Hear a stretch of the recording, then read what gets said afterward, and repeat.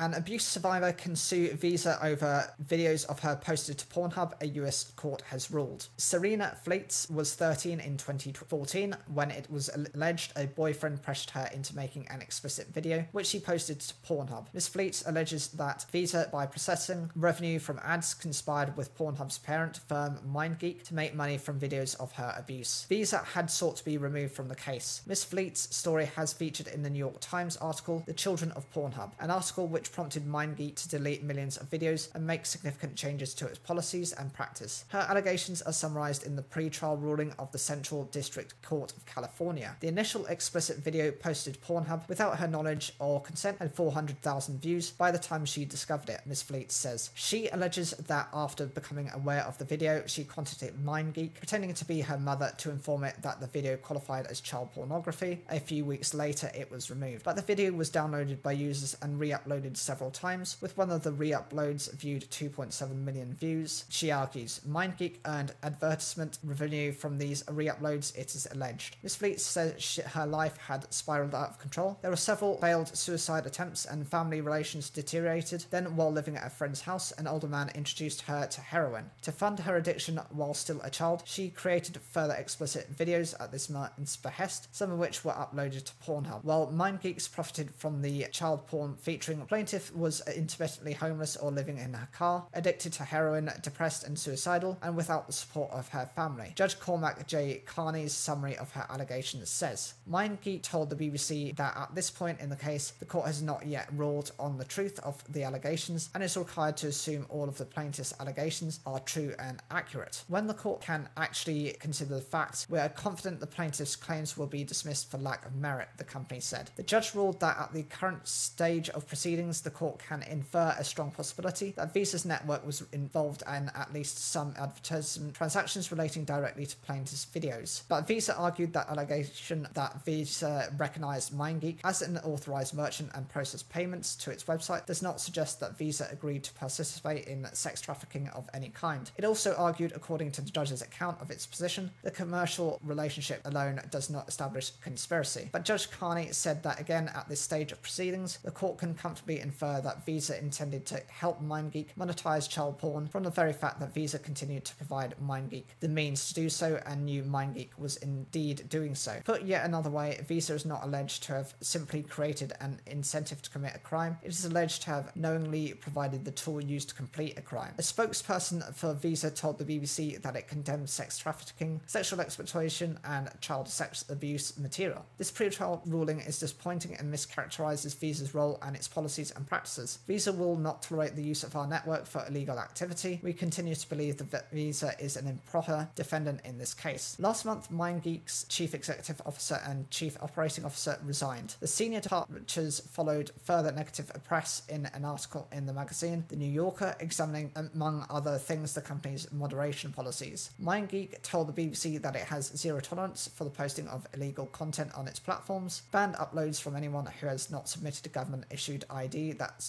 passes third party verification, eliminated the ability to download free content, integrated several technological platforms and content moderation tools, instituted digital fingerprinting of all videos found to be in violation of our non consensual content, and CSAM policies to help protect against removed videos being posted, expanded its moderation workforce and processes. The company also said that any insinuation that it does not take the elimination of illegal material seriously is categorically false.